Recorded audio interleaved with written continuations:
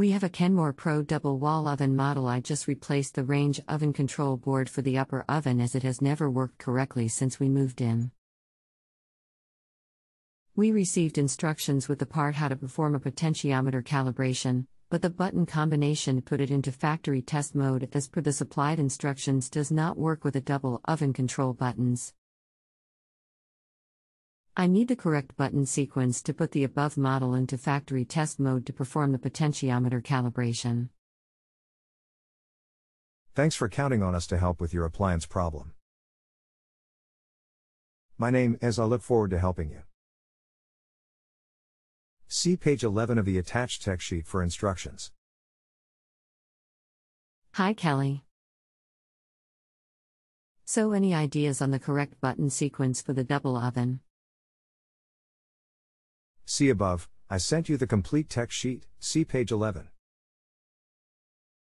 Let me know how it goes, please. Hi, Kelly. We are able to get into the factory reset mode. I have tested with the existing range oven control board still installed and it will not calibrate. I plan to install the new board tomorrow. Thank you for the document. It helps immensely. You are very welcome, thank you. Please know I am here if you have follow up questions. You deserve 5 star service. Please let me know if you have additional questions, I am here to help. Thank you so much. I also have a new hash hash hashtag wall oven temperature sensor to try if the control board does not work.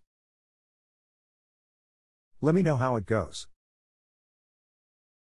If it will not calibrate, it is likely the control.